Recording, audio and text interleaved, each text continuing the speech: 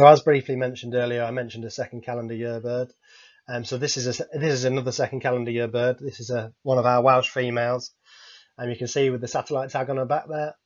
Um, so you can see this bird actually visited Spain, which you can see the new molted feathers. So a young bird will molt in its second calendar year bird. It will spend all the winter with the same feathers it hatched with, and then in its early spring, from about late March, early April, it will start to molt. Um, this is because first generation feathers or juvenile feathers are in poor condition. They're weak when they're made in the nest and they need to replace, replace those feathers to basically ensure they have a, a whole set of feathers and a, a, complete wing to allow them to hunt. As a predator, they need to hunt on the wing. So to have poor condition basically makes it harder to catch.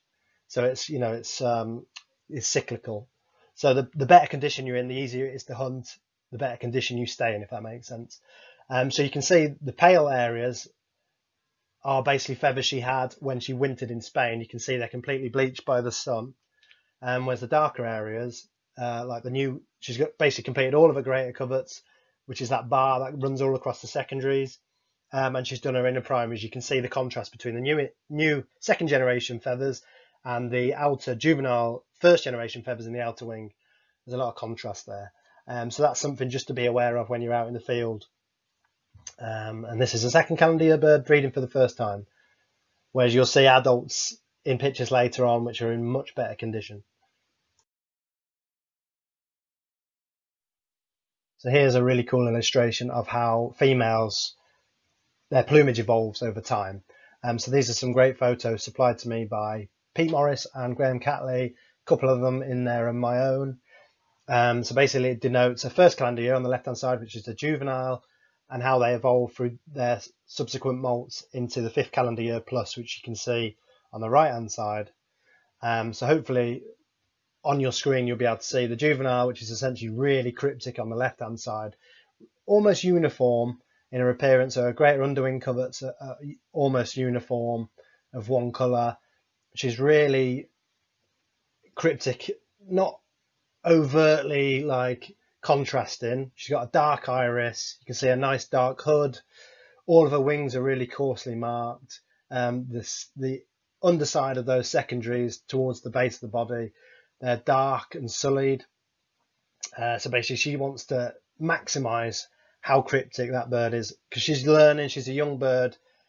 She essentially doesn't want to be predated, and she wants basically just to survive her first winter. She doesn't want any outside influence from, you know, intraguild predation.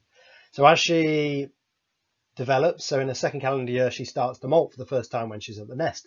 I mean, the male's provisioning her constantly with food, so she just thinks, actually, I'm not hunting for myself for the first two weeks, so I may as well reassimilate that keratin, that, that protein into keratin and molt through. So you can see there, she's got some retained outer, outer feathers and some new inners, um, and she's just bleached. She's basically the first calendar year that's basically been exposed to the sun and wear, and you can see the feathers have basically just abraded. So she finishes her molt in that year, spends her, her basically second winter in a better condition with a bit more experience and know-how.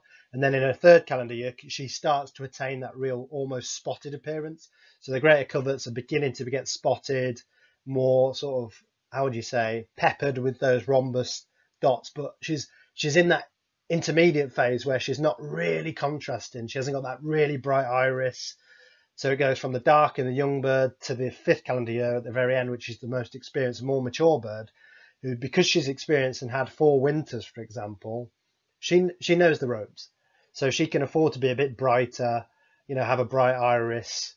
Uh, she can be a bit more pro male in her features, in the sense she becomes a bit more pale and on a ventral side, a bit more hooded, more akin to the male, but not with the big diagnostic hand, if that makes sense.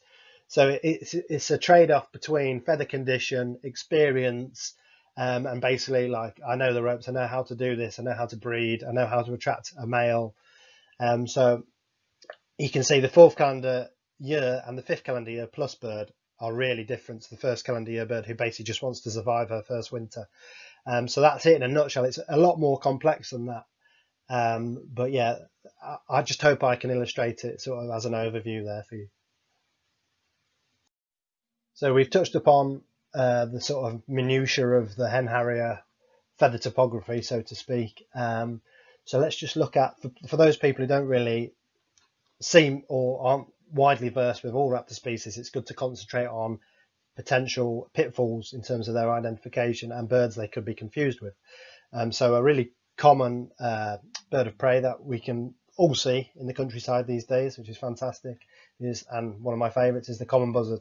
So you can see an adult here on the left hand side. Just this is from uh, my good Polish friend who runs Crazy for Raptors, the Facebook page, if you haven't seen it. Um, and then there's two juveniles that are facing the opposite way.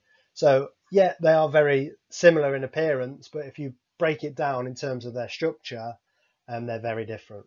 So adults, common buzzard, tend to have a short tail and a really broad wing base.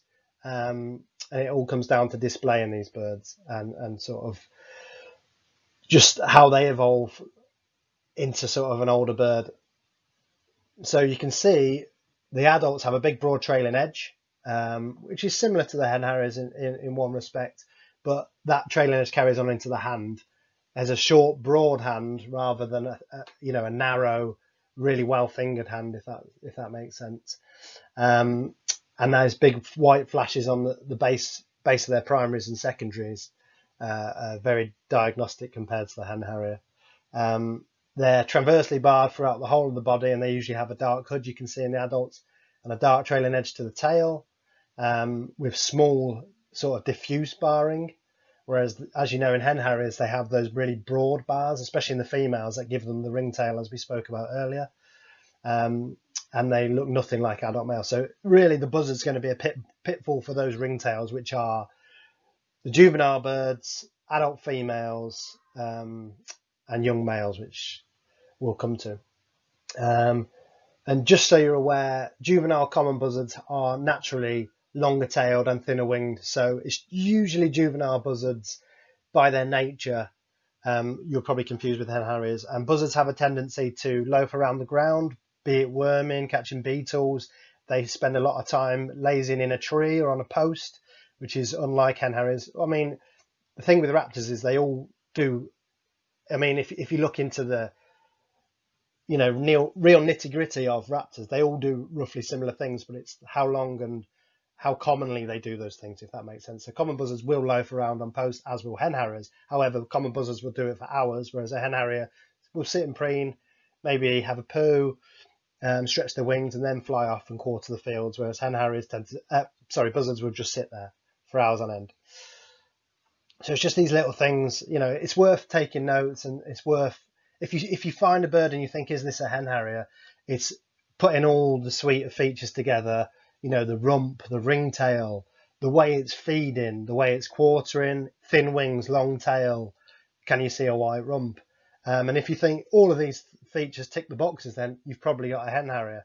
If you've got a bird that sat on a post for hours on end, you see it there in the same place every day, and it drops onto the field, walks around almost like a dinosaur, uh, eating worms, and then c- circles high up meowing, it's more than likely a buzzard. Um, so yeah, a, a super bird in itself, but yeah, not a hen harrier.